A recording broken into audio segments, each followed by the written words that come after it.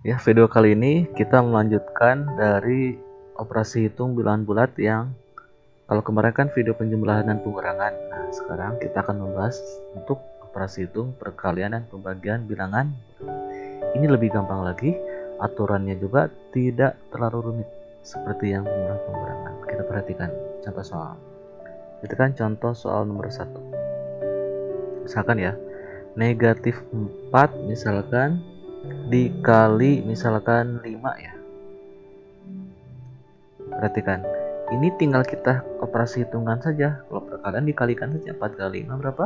20 tinggal kita perhatikan tandanya. Perhatikan di soal. Kalau tandanya beda nah perhatikan 4 tandanya apa? Negatif kan?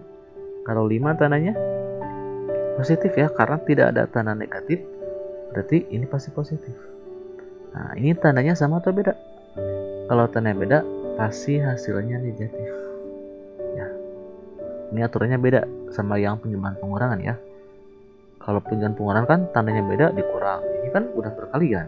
Jadi operasi itu yang tetap perkalian, tapi untuk memberikan tanda di jawabannya, nah perhatikan yang di soalnya. Kalau di soalnya tandanya beda, berarti hasilnya negatif. Kalau tandanya sama, positif sekarang kita akan membahas soal nomor 2 misalkan.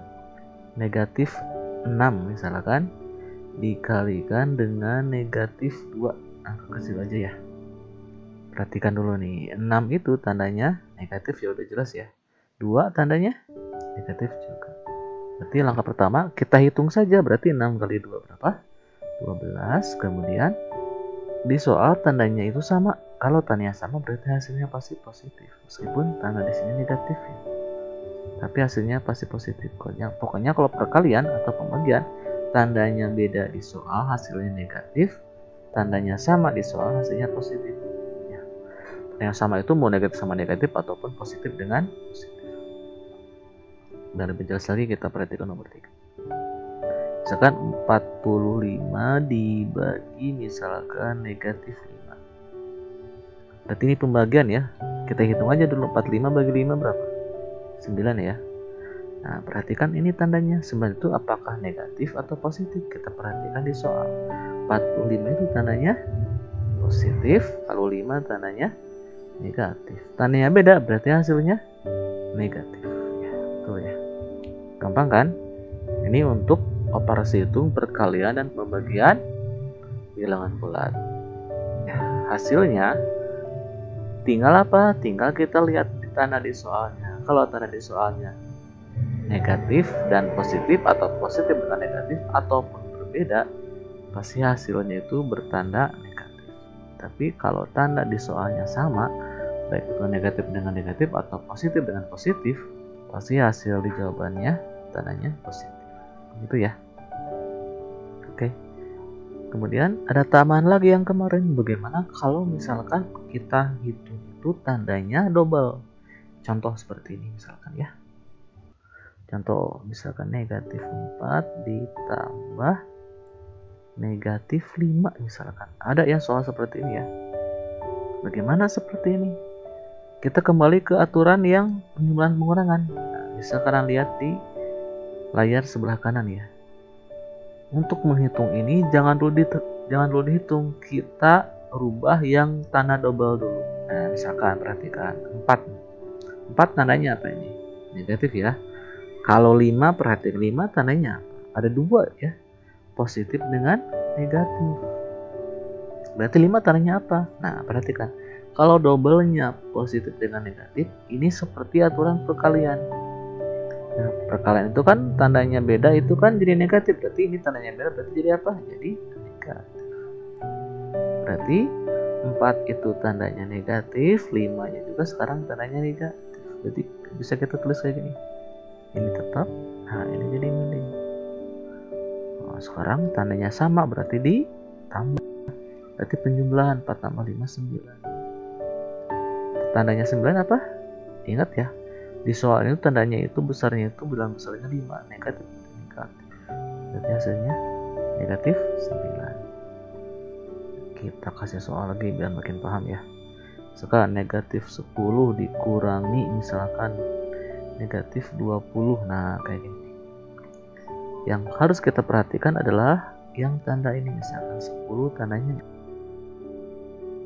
Sekarang 20 nih tandanya ada dua nih negatif sama negatif ini juga sama kayak aturan. Perkalian pembagian ya. Kalau tandanya sama berarti jadi positif. 20 itu tandanya jadi positif. Berarti kayak gini kalau 10 kan tetap negatif ya.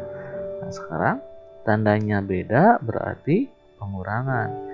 20 kurangi 10 sama dengan 10 di sini bilangan besarnya 10 apa 20 20 ya 20 itu tandanya positif. Berarti ini juga hasilnya positif tapi kalau positif nggak usah kita tulis tandanya.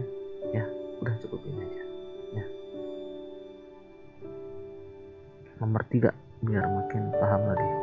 Misalkan 50 misalkan kita kombinasikan. Misalkan negatif 10 kurangi negatif 20 nah kayak gini. Ingat ya kita rubah tanda yang double-double dulu nih. Ini plus sama min tandanya beda kayak perkalian hasilnya negatif ya. Tuh kita sama negatif tandanya sama berarti positif 50 itu kita enggak diubah apa-apa ya kita tulis lagi aja. Nah ini bisa pakai triknya kayak gimana? Ini kan tandanya apa ini 50 positif. Ini negatif ini positif. Berarti boleh kita hitung dari kiri dulu boleh. Misalkan dari sini dulu ya. Tandanya beda berarti pengurangan 50 per 10 at bilang besarnya berapa? 50 per 10 50 50 tandanya positif berarti positif. Ini kita tulis lagi karena tidak kita hitung. Nah sekarang ini 40 tandanya positif 40 tambah 20 dua-duanya positif berarti 60 positif juga karena dua-duanya tandanya positif tandanya sama kita ditambah. Besarnya 40 positif 60 juga positif ya ini positif. Positif tandanya sama ditambah. 40 tambah 20 60 bilangan besarnya di di soal itu 40 positif ini juga positif. Gitu ya. Oke ya. Ini lanjutan pembahasan video peras hitung bilangan bulat tentang perkalian pembagian plus ada tambah lagi bagaimana kita mengerjakan soal yang ternyata tandanya mudah-mudahan kalian paham. Sampai ketemu di video selanjutnya. Silahkan kalian kerjakan soal latihan di akhir video ini. Salam cerdas juara